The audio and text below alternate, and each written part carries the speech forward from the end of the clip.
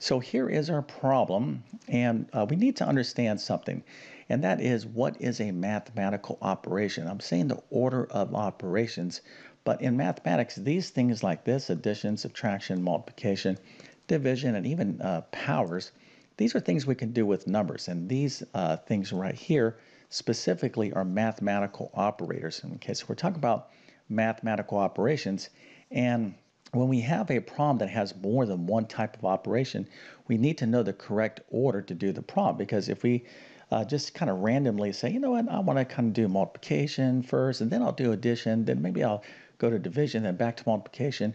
Well, depending on the, uh, the order you take, okay, you can come up with all different sorts of values. Of course, there's only one correct uh, order, and that order is this acronym right here. This is effectively a checklist for us, and I'm going to go ahead and explain this right now.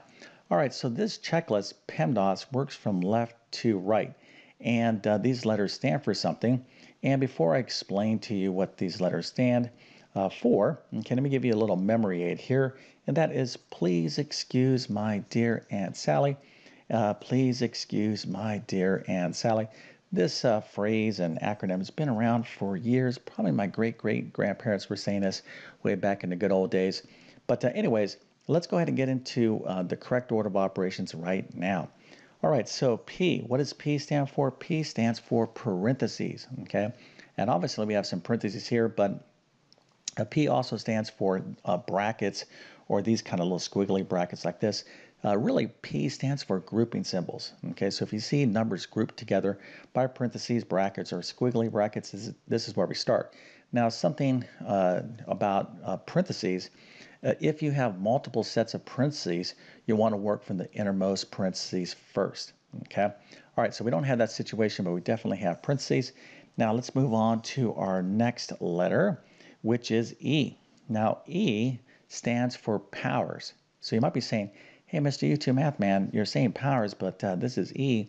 Why doesn't, you know, how come we don't have a P here if you're saying powers?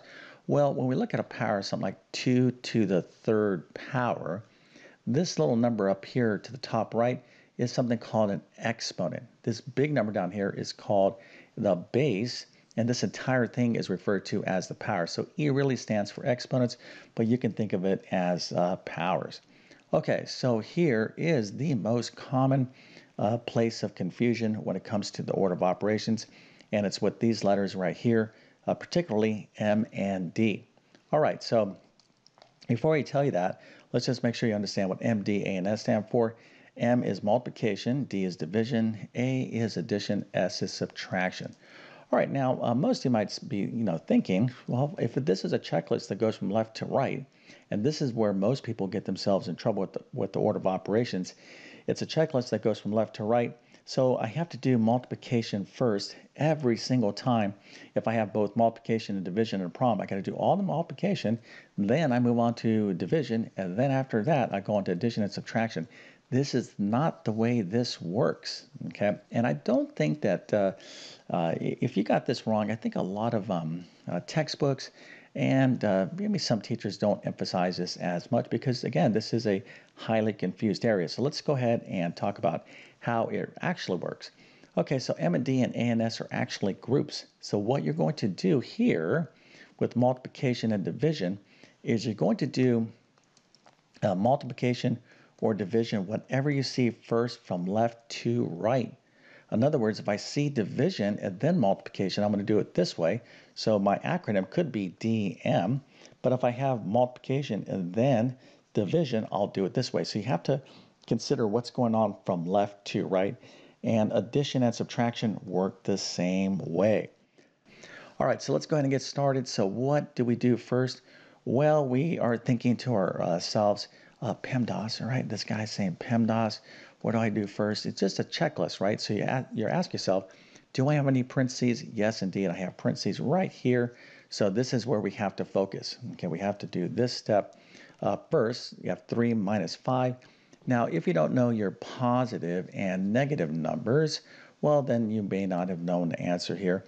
But uh, if you um, didn't understand that 3 minus 5 is negative 2, because that is the correct answer, uh, you might want to review some basic math. Let me give you a quick suggestion. you might want to check out my Math Foundations course. It's just a basic uh, kind of math boot camp. It's a small course. You'll find a link to it in the description below.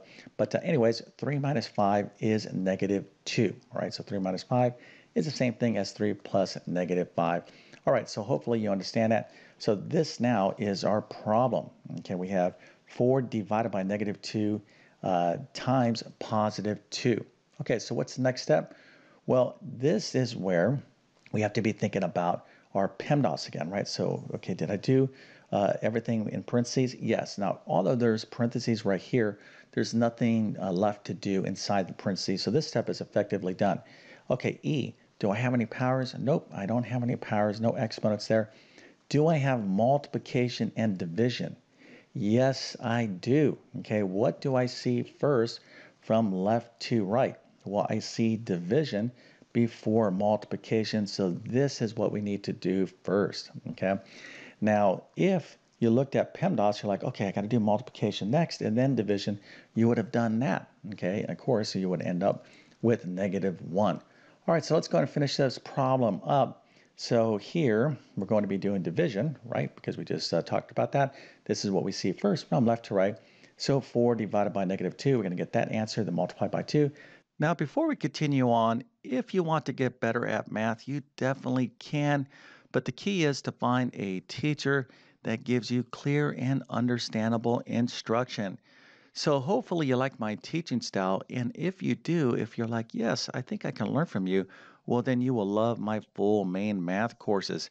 So, uh, you can find the links to all of these courses in the description, but they include basic math, pre algebra, algebra 1, geometry, algebra 2, pre calculus, and a ton of specialized test prep math courses. Okay, so again, don't give up if you're having a tough time in math. I can definitely help you out. So you can check out the links to all these courses in the description. So let's get back to the video. Not much work to do here because we're just talking about basic division and multiplication. So 4 divided by negative 2, positive, uh, a positive number divided by a negative number is negative, so that's going to be negative 2 times a positive 2, which will give us negative 4 as the correct answer. But let's just do this problem wrong here. Okay, let's say we're just following the order of operations, you know, uh, PEMDAS, the way we think we understand it. Okay, and again, I've been doing this for decades and decades, and most students are just kind of quickly going through this checklist. All right, I did parentheses, there's no powers, now I'm going to do multiplication, so they just go right here. So if you were to do this, you would have what? Uh, 4 divided by negative 2 times 2. This is going to give us, let me do it right here, 4 divided by negative 2 times 2, that's negative 4.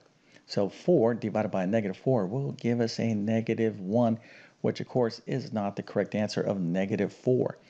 Okay, so uh, for those of you that do need additional help in this, I have tons of videos on my YouTube channel. Also, uh, a couple courses um, that you can check out. I'll leave links to those in the description. One is my Math Foundations course if you want to just review basic math. If you really want to relearn a lot of math, check out my Math Skills Rebuilder course. That's a new course of mine. Teach you a lot of um, basic math, algebra, and geometry. And then I have all my main courses like pre-algebra, algebra 1, algebra 2. You can check those out as well. Okay, so with all that being said, I definitely wish you all the best in your mathematics adventures. Thank you for your time and have a great day.